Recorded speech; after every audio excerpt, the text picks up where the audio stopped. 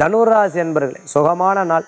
நிறைய ஆதாயங்கள் கிடைக்கக்கூடிய அற்புதமான நாள். மற்றவாட்ட பேசும்போது சற்று கவனம் என்பது தேவை. நம்ம என்ன சேர்த்து வச்சுருக்கோம் என்ன தொழில் பண்ணிட்டு இருக்கோம் எத்தனை பேர் வேலை செய்கிறா என்ன லாபம் இருக்குது இது மற்றவாளுக்கு தெரியணும்னு அவசியம் கிடையாது. ஒரு கம்பெனியோட கம்பெனியாக பேசுறது அப்படின்னு சொன்னால் அவளுக்கு தெரியல உங்கள் கம்பெனியுடைய வேல்யூ என்னன்னு. தெரிஞ்சவா வந்தவா போனவாள்கிட்டலாம் சொல்லணும்னு அவசியமே கிடையாது. ஒரு சொன்ன நபர் ஒரு விஷயத்தை சொல்லிட்டார். அதை அப்படியே வந்து நம்ம இன்னொருத்தர் சொல்லணும் அவசியம் கிடையாது. முடிஞ்ச அளவுக்கு குறைபாடுகளை பார்க்குறத விட நிறைபாடுகளை பாருங்கள் இந்த தினத்துக்குண்டான அதிர்ஷ்டமான என் ஒன்பது நிறம் ராமர் பச்சை வழிபாட்டுக்குண்டான தெய்வம். ஸ்ரீராமர் வழிபாடு ஆஞ்சநேயர் வழிபாடு தனுராசி என்பவர்களுக்குண்டான அற்புத வழிபாடு.